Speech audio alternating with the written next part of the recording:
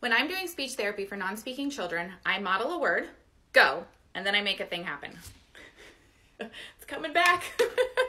so, what I like to do then is wait and see if the child expresses interest in that thing again. And if they do, then I can either model the word or I can just wait and see if they'll say the word back to me. So, here are some of the things in my therapy bag right now for my non speaking clients. So, I really like wind up toys because usually they can't activate it themselves. So, I'll say go and have it do its thing. And then when it runs out, they can either say help or they can say go or they can say hop. So we can model lots of words with that. Bubbles are great because most kids love bubbles. So I will model blow, pop, again. Those are great ones for bubbles. This is a push car that you push it and then the wheels keep going. I can get these going really fast, but usually the kids can't, so they can ask for help. I can model the word fast or slow. Or go is another good one for this. This is just a rubber popper, so you, it pops.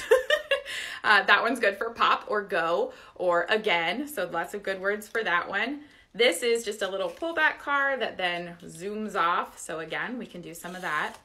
And then the other thing I like are toys that you talk into that don't really do anything unless you talk. So this is a voice changer, and if you hold down the button, it doesn't do anything until you hold it up to your mouth.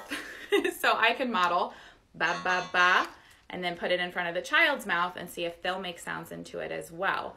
There's also those big microphones that you can use as well, and that's a good one to do also.